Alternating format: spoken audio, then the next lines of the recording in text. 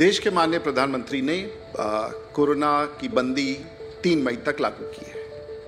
लेकिन उन्होंने ये भी घोषणा किया है कि 20 अप्रैल तक वैसे तमाम देश के प्रखंड, जिला या शहरों का वो भाग जो कोरोना से प्रभावित नहीं होगा, उसे आंशिक तौर पर खोलेंगे। और गृह मंत्रालय ने मार्ग निर्देशिका जारी की है।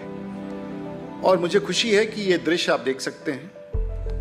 ये सारण का है, छपरा जिला है, सारण जिला है बिहार में। और ये मेरा खेत है। मैंने बड़ी मेहनत से अपने इस सीज़न में अच्छे गेहूँ का फ़सल लगाए थे।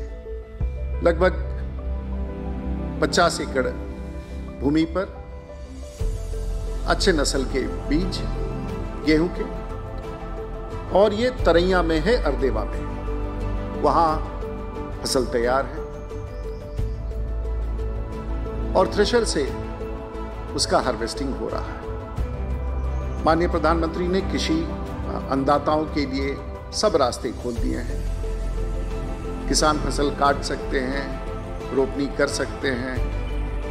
खाद के दुकान, बीज के दुकान खुले होंगे।